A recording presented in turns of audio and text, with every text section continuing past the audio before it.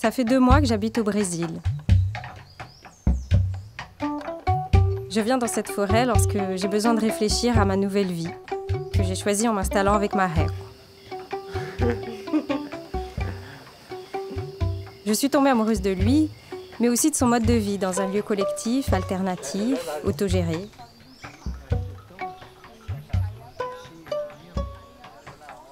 Je sais que Maheko, son rêve c'est de construire sa propre maison.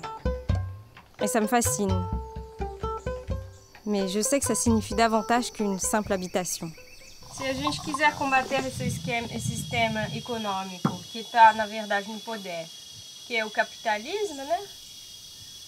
É somente fazendo o que a gente está fazendo. Assim, fazendo coisas alternativas, comércio local, buscar uma certa autonomia, buscar umas redes. Bem-vindos à Rede Bom Jardim! Ça faisait plusieurs années que je voulais quitter la ville, faire quelque chose de mes mains, participer à la concrétisation d'une forme d'utopie qui soit une sorte de société autonome, indépendante du système capitaliste.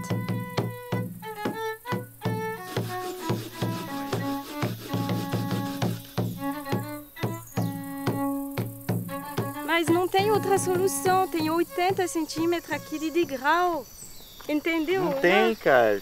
Tem 80, tem 40 mais 40, dá 80. Ah, c'était un peu utopique au départ, mais bon, les utopies, c'est ça, quoi. Mm. C'est- Ça se frotte à la réalité après. Ben oui, oui, non, mais c'est sûr. hein.